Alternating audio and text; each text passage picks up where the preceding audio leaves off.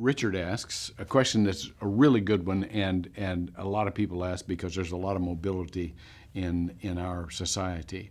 I've been a member of Northland, but I recently moved to another city. What are some guidelines that I can use to find another church?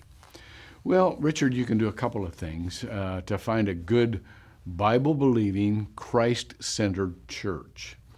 First of all, you can ask around um, to people you trust or even people you run into um, as to what their what their preferences would be or what what how what they've heard is a really good church. Uh, or you can call some parachurch organization, uh, the headquarters like Campus Crusade or InterVarsity, or any of those um, organizations you know are really Christ centered, um, to see if they have any recommendations um, in, in they, they, they have probably have staff in every major city, so they might have some good recommendations. Secondly, you can go online uh, just to check out church websites. They usually do a pretty good, pretty good job of, uh, of posting their statement of faith and you know their mission and things about their about their church.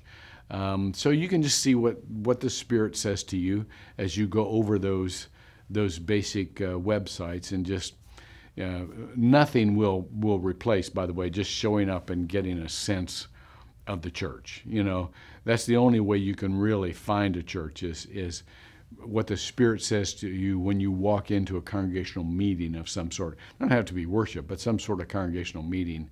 You'll get a sense of what's going on. Here's another choice, though. Remember, you belong to a church distributed. And so if you can't find a local church that you want to be a part of, let us help you build a distributed church as you develop close relationships. Um, our website and, and coaches will make it simple for you to do so. Um, if you're called by God to be a spiritual leader or, or, or a spiritual convener, rather, um, uh, and he, he might be asking you to be the church that you had hoped to find. Um, we'd love to help you in that.